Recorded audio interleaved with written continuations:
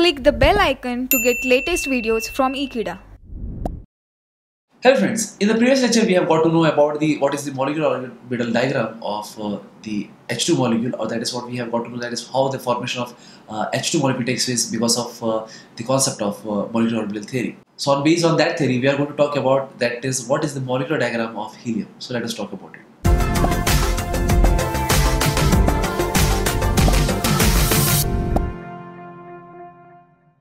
So talking about helium and uh, because we are talking about molecular orbital diagram because obviously in that case we will know that is the two uh, heliums they will combine with each other. I know what you are thinking that uh, it is a noble gas obviously they won't form any kind of bond but based on let us uh, let us understand that according to molecular orbital theory whether it will form bond or not or whether that will be giving a stable molecule or not. So that, that this is what we could uh, understand with the help of this uh, molecular orbital theory and let me talk about that one. So talking about the helium, suppose if two heliums are being combined with each other, so I'm talking about the first helium that is uh, helium A suppose, just to understand it in that way. So I mentioned in this way that is 1s2, so that is the electronic configuration of the helium that we know. So if I talk about the orbital, so it consists of basically the s subshell consists of only one orbital, and that orbital consisted of basically two electrons. So this is what we know for He or helium and this is the atomic orbital that we have got over here. So similarly we can also mention about the uh, other another helium uh, which has an atomic uh, orbital which could be written as in this way that is I am mentioning over here as 1s2 that would be electronic configuration of that one and uh, even that consisted of uh, the atomic orbital which consists of basically two electrons. So therefore this is the two electron. So based on these two atomic orbitals that we have uh, got for the helium and uh, now let us understand that how we are going to talk about uh, the molecular orbital diagram. So let us move on.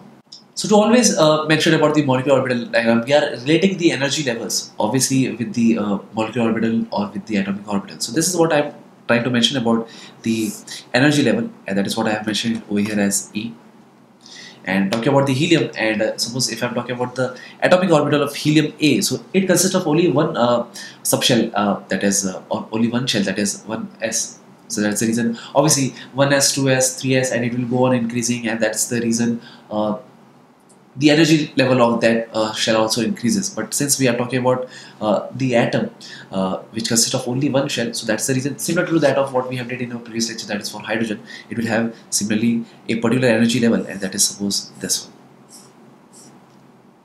So this energy level is for the atomic orbital of helium A, and that consists of basically one s uh, uh, that is orbital and that one s orbital can be written as in this way also. So this is the orbital that I am mentioning over here and which consists of basically two electrons. So therefore this is the two electrons that has been present in that atomic orbital. So similarly I could say that uh, even the another helium is what I am going to introduce and that will have the same energy level. So that is what I am mentioning it over here.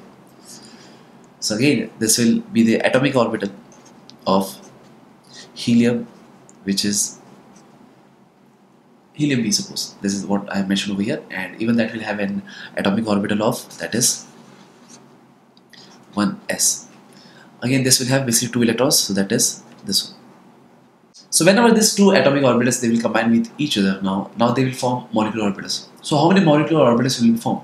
Obviously because uh, the total number of atomic orbitals that have been combining is basically two. So that's the reason that two uh, molecular orbitals will be formed. And uh, since we are talking about two uh, molecular orbitals so they will have different energy levels. So uh, one of the one which will be at lower energy level and the one of will be at the extreme uh, high energy level. And that is what I am going to mention about. So this is the lower energy level that we will get for the molecular orbital. And that will be another a higher energy level for a molecular orbital over here. And what we have to do is uh, we have to mention the uh, molecular orbitals and uh, but this is the energy level that we have mentioned over here. And talking about the molecular orbital so this is the molecular orbital.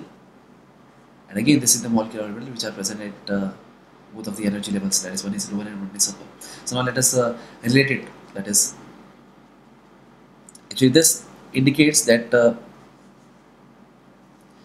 to what extent the energy level has been uh, separated now so originally it was here but now it has been separated to energy level one is lower energy level one is higher energy level and that is what uh, the main concept that we are talking about that is molecular orbitals for H helium molecule suppose So helium molecule is not been formed, so that's why I'm just uh, mentioning it as molecular orbitals for helium. So it consists of an overall, as you could see that uh, four electrons are being present over here and uh, we have to fulfill it in the molecular orbitals. So how can we fulfill it? We can fulfill it with the help of uh, the atmospheric cell that we know that is from lower energy to higher energy level the electrons can be filled and uh, we have to also apply, apply for the Hertz principle and Hund's rule. So that is what we are concerned with and that's the reason that total it makes a 4 electrons. So how can we fill it? The first electron will be here. The second electron because as there is no another orbital that will be present in this energy level so therefore the second electron will be placed over here itself. So two electrons are been placed out of the four. So now the two are been remaining and that two will be remain mentioned over in the above one. So these are the two energy levels that I have mentioned over here and we have fulfilled the electrons in the molecular orbital. But the thing is not been done yet. We have to designate those uh, molecular orbitals and uh, talking about this one. So this is the one which is because of the formation of the s orbital and that is the reason that uh, it will be called as sigma s while the above one it will be called as sigma star s. Means this indicates that it is a anti-bonding orbital and this is the bonding orbital.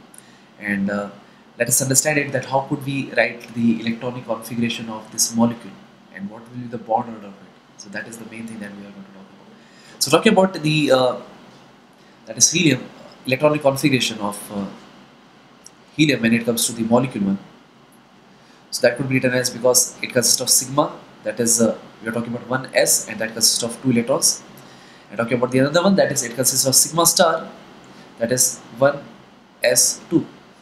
so this is the electronic configuration of helium that we have uh, got to know in, in terms of the molecule. But what will be the bond order? So bond order is also the concept that we are going to talk about. So bond order is nothing but the number of electrons that are being present in the bonding electrons or bonding orbital and the number of electrons that are basically anti uh, that are present in anti-bonding orbitals. So now talking about uh, the uh, bonding uh, bond order basically. So bond order is the formula that we know that is Nb minus Na divided by 2 and this Nb indicates that is uh, the number of bonding electrons while this indicates the number of anti-bonding electrons or that are present or the electrons that are present in the anti-bonding orbitals. So now if we observe the diagram for the that is for the helium molecular orbital diagram of helium. So in this case we will get to know that is the number of electrons that are present in the bonding orbitals are 2 so therefore I will mention here as 2 and the number of uh, electrons that are present in the anti-bonding orbitals uh, that are also 2 so ultimately I'll get to know that is the answer is 0 this indicates that is there is no bond between helium and another helium. So making this to understand that uh, the helium doesn't forms a molecule it is staying in an atomic state only and that is what we have got to know because of the help of the molecular orbital diagram also. So already we can uh, easily estimate it with the help of uh, the valence bond theory also as well as hybridization also from that also we'll get to know but uh, these are the energy level that we could get over here and that is the main thing that uh, MOT plays a very vital role in understanding that what would be the energy level whenever an electron is being excited so at what energy level it will be uh, reached uh, to form a uh, bonding orbital or an anti-bonding orbital so there are various details that we could get because of the molecular orbital diagram so that's it. That is what I want to talk about. So thank you friends for watching this video. I hope you have understood this video very clearly and you share this video with your friends. And don't forget to subscribe, Ekeeda channel. Thank you so much.